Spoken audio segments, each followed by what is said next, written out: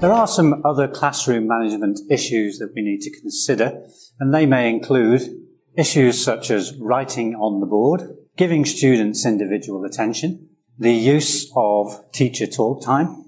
the way in which we should give instructions to our students, the building and maintaining of rapport with our students, and finally, the one that perhaps most new teachers particularly spend a lot of time worrying and thinking about